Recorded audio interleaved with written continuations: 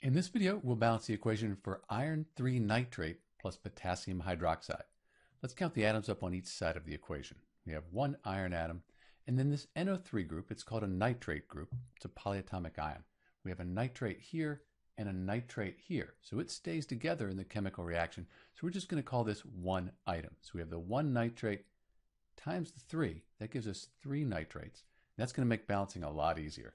We have one potassium and then we have this OH group. It's called the hydroxide. We have it here and here. So we're just going to say we have one hydroxide. On the product side of the equation, iron, we have one.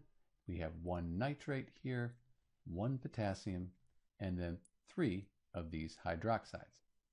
Let's take and fix the nitrate here first.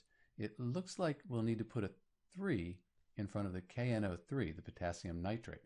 That means we have the 1 nitrate times the 3, and that'll give us 3 nitrates. So those are balanced, but 3 applies to everything. We have the 1 potassium times the 3. It gives us 3 of those. Let's fix the potassiums. That'll probably fix the hydroxides. If we put a 3 as our coefficient in front of the KOH, we have 1 potassium times 3. That gives us 3, so those are balanced. And then we have the hydroxide, 1 hydroxide times 3.